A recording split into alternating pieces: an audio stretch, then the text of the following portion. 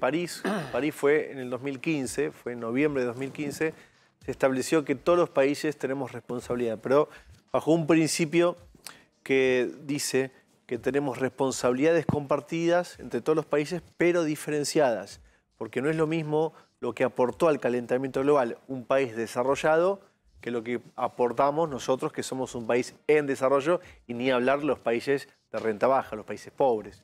Por lo tanto, los países ricos se comprometieron en el 2009, en Copenhague, eh, a financiar a los países en desarrollo. Pasaron 12 años y eso todavía no ocurrió.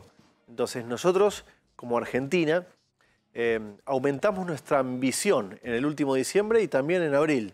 Aumentamos nuestra ambición frente a Naciones Unidas diciendo, nosotros nos comprometemos un 27,7 más de la última presentación que hicimos del 2016. Son muchos números, perdón, pero sirve para clarificar. Argentina se compromete primero a ser un país de carbono neutralidad frente al 2050. ¿Qué sería, que sería que las emisiones que nosotros emitimos van a ser neutras porque vamos a modificar matriz energética, no vamos a depender de la, este, de la energía... De combustibles fósiles. De combustibles fósiles vamos a aumentar las renovables y vamos a preservar bosque nativo, que el bosque nativo es el que capta el carbono que emitimos, ¿no es cierto? Mm. Entonces... Pero, a ver, vos me contás y yo te digo, sí, sí, muy lindo, pero por, por todos lados vemos que se está talando bosque, cada vez se amplía más la frontera de la soja.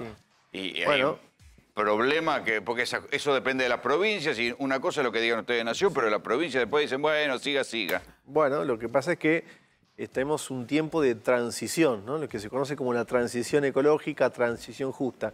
El ideal es llegar al punto de sostenibilidad. En el camino hay decisiones de gobierno, pero también decisiones del sector privado. muchas veces se habla solamente de la responsabilidad del sector público, que sin, dudar que la, sin dudas que la tenemos. No, que yo al contrario creo que es testimonial lo que puede hacer el sector público. No, frente a la tala de bosque, frente a Pero fíjate, con normas vos podés ir modificando prácticas. Yo me junto con, muchos sectores empresariales. Días pasados estuve con la UIA, con Funes Rioja, y conversábamos acerca de la necesidad de que el sector productivo modifique prácticas. No solamente por los compromisos frente a ONU, sino también porque hoy tenemos eh, consumidores muy informados e interesados en conocer la trazabilidad de dónde vienen esos productos.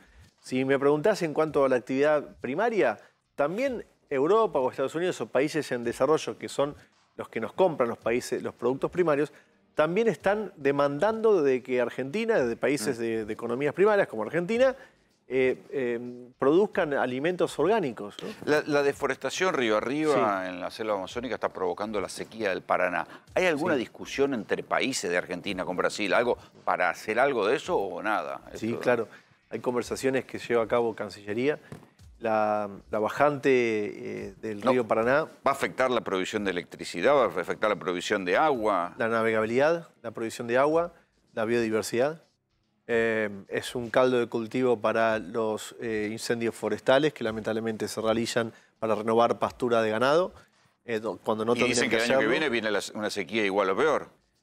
Hay pronósticos, sí, de continuidad de falta de precipitaciones. Principalmente la falta de precipitaciones que explican la bajante del Paraná es a partir de la deforestación producida en Brasil del Amazonas, de la región del Amazonas. Lo que, lo que arrancó con Bolsonaro hace un par de años. Pero también nosotros tenemos responsabilidad ahí, en términos de que nosotros también tenemos deforestación de, yungas, que si bien está en la zona del NOA, de Parque Chaqueño, que está en la zona eh, de, NOA, eh, de NOA ENEA, eh, y entonces también tenemos responsabilidades y tenemos que cumplir objetivos eh, como dijimos, de cara al 2030, frente a la ONU. Eso es el, al 2030. Ahora tenemos el problema de la falta de agua. Faltan ocho años y si nosotros no modificamos prácticas, nosotros y el mundo, lo que pase en los próximos tiempos va a ser peor aún. No solamente tenemos esto que decía, sino que también tenemos, el mundo tiene hoy 50 grados de temperatura en, este, en, Canadá, eh, incendios en, Italia, en Turquía, en Italia, en Grecia, las inundaciones de, eh, de Alemania en los días pasados, al mismo tiempo China. Tuvimos veintipico grados de temperatura en la Antártida el último verano, 30 grados en, este, en, Siberia, en Rusia. Entonces, evidentemente, tenemos hoy sequías, no solamente en, el delta del Paraná, tenemos sequías y estrés hídricos en Neuquén, en San Juan, en Mendoza. Es decir, el, sector productivo tiene que hacerse grandes eh, replanteos en cuanto a métodos y también necesitamos eh, mejorar algunas prácticas y gobernanza. Nosotros tenemos un objetivo, que es bajar la tasa de deforestación que decías. Tenemos una ley que modifica la ley de, de bosques. La ley de bosques sirvió cuando la presentó en el 2009 Cristina para bajar la tasa de deforestación. Pero el año pasado tuvimos 100.000 hectáreas de deforestación. Si a eso le sumamos las 300.000 hectáreas de, bosques arrasados, producto de los incendios, tenemos 400.000 el año pasado. Eso es una cifra altísima. Eh, y la verdad que el único camino es la conciencia, el diálogo. Pero mirá lo que pasa en los humedales.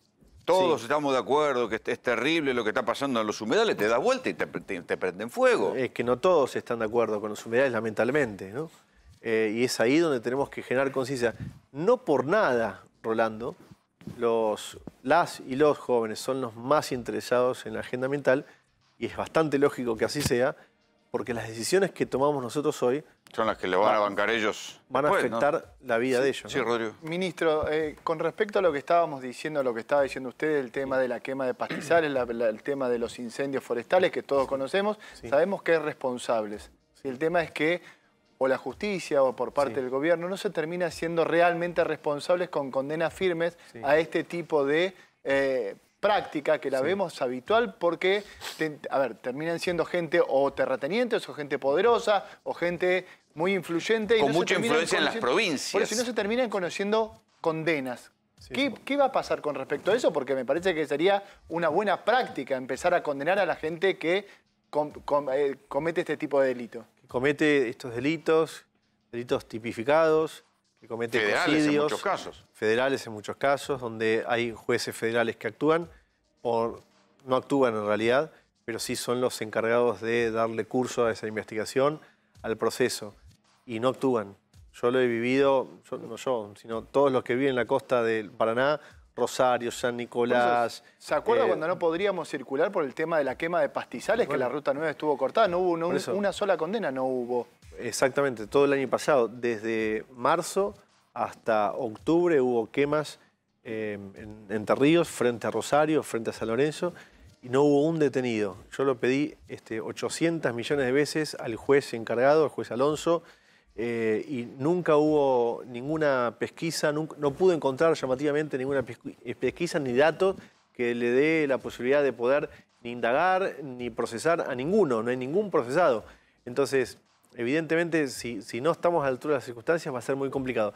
Hay tres elementos para graficarlo en cuanto al fuego. El que lo prende, el que tiene que apagarlo, que es el Estado, que lo apagamos, y el que tiene que reprender con el, marco de la ley al que lo prendió. Esta falla, la tercera falla, porque nosotros cada vez que hubo un foco, con los brigadistas, con medios aéreos, fuimos, apagamos. A los tres días lo volvían a prender. En el caso de los incendios en Chubut, ¿terminó alguien preso cuando se supo que eran incendios intencionales? En, el caso de los incendios de la comarca andina, Chubut, no hubo, la, justicia, doy fe que actuó, investigó, eh, intentó buscar mediante cámaras muy difíciles en la zona, encontrar cámaras, porque no hay. Eh, y la verdad es que también hizo un informe técnico donde demuestra la fragilidad del tendido eléctrico de la provincia de Chubut. No solamente los postes, los cables en desuso, que cuando hacen contacto chispean y caen el material combustible acumulado, como sucedió en el mes de enero en la comarca andina. Eh, al mismo tiempo los transformadores están obsoletos o, viejos. Es decir, si Chubut no modifica su infraestructura eléctrica, eh, es posible que en verano tengamos algún otro problema. Ojalá que eso no suceda. Sí, Juan Pablo. A mí me interesa saber con respecto a los coches híbridos, eléctricos y demás, ¿hay, ¿va a haber eh, políticas para que digamos, haya más en el mercado? Porque hoy por hoy hay, hay muy pocos modelos, de hecho hay más de una marca que no tiene ni híbridos ni eléctricos. Sí. Y eso también sirve mucho para reducir la emisión de carbono. Bueno, Estados Unidos acaba de decir que para el 2030 quiere que la mitad de los autos sean eléctricos. Sí.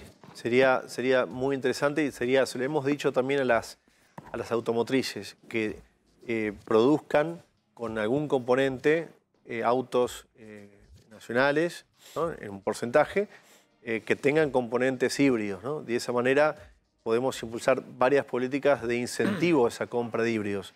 Eh, porque de nada serviría que solamente los híbridos o eléctricos sean importados, porque eso nos lleva a nosotros tener que utilizar divisas que las divisas, bueno, ya saben, todos sabemos cómo se consiguen las divisas. Entonces sería contradictorio. ¿Y, dan bola o te dicen sí, sí, sí, pero...? Bueno, ahí no voy a nombrarlas, pero hay una en particular, dos en particular, que están poniendo, creo, a mi gusto, empeño en eso y creo que en poco tiempo va a haber algo de producción nacional también en híbridos. ¿sí? Al mismo tiempo, hay este, bueno, startups o empresas que están haciendo coches eléctricos. Sí, de hecho tenemos una nacional, sí. Una en San Luis, otra en Córdoba, otra en provincia de Buenos Aires. Lo que no hay todavía son utilitarios, ni, o sea, hay autos, pero no hay este, vehículos más grandes. Hay, hay alguna que, que, tiene utilitarios, algo pequeño, pero, pero van avanzando. El gran problema es la carga, ¿no? Por supuesto. ¿No sería hora de replantear el transporte público, los colectivos, como hoy, no se ponen en Londres, que son eléctricos? Sí. Sí, es una de las, tareas para, para, mejorar las condiciones del calentamiento global, y para no aumentar más de 1.5 grados, que es lo que dice el informe de la ONU, tenemos que replantear eso, la matriz energética, eh, la movilidad, el transporte público, el transporte también automotor, eh, y por, ejemplo, sostener eh, las cuencas forestales. Eso es fundamental. Y yo te agrego otra. Es una ecuación fundamental. El ganado. Una de las, principales fuentes de contaminación de metano es los ganados rumiantes y lo que cagan las vacas, para decirlo mal y pronto. ¿En serio? Es cierto. pero no tenemos intensivo acá como en Europa. No sé, cada vez tenés más feedlot. Y el feedlot, sí, cada vez hay más feedlot, es cierto. Ministro, ¿y con esto? ¿Y con esto? Muy bien, muy bien. El, el PET es el plástico que tenés en la mano eh, junto a otros plásticos, polietileno eh, y, diversos plásticos, tienen que tener una, tasa, eh, digamos, este, de, uso responsable. En realidad es el principio REP, ¿no? el que llamamos responsabilidad extendida del productor. Es decir, a, mí me, parece muy bien que el que produce esa gaseosa o esa agua tenga utilidades, tenga ganancias, porque además genera empleo, pero al mismo tiempo de obtener ganancias está dejando un residuo el que tiene que hacerse cargo es el Estado. Y es lógico que esa persona también este, se haga cargo. Entonces eh, tiene que existir una tasa para cobrar eso. Y nuestra idea es conformar un fideicomiso donde tengan trazabilidad las cámaras para que vean que cada peso se utiliza en la industria del reciclado. Y al municipio que tiene un plan de gestión de reciclado, se le transfiere el dinero para solventar la tarea del reciclado. Eso es una ley, la famosa ley de envases, que espero que en los próximos días eh, esté en el Congreso. O sea que es una ley para que prevé el reciclado de los envases. Sí. Ahí hay un punto de, inflexión. A mí me ha pasado de sacar el plástico por un lado y los residuos eh, líquidos por otro, y que después viene el camión, agarra una bolsa, agarra la otra, va todo arriba. Y...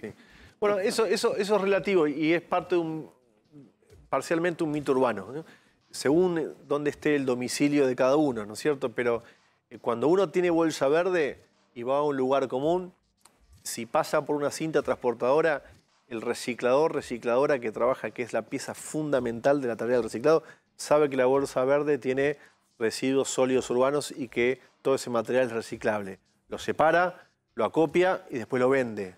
Entonces, eh, digamos, es relativo. Pero sí es cierto que no todos los municipios tienen una política de reciclado, ¿no?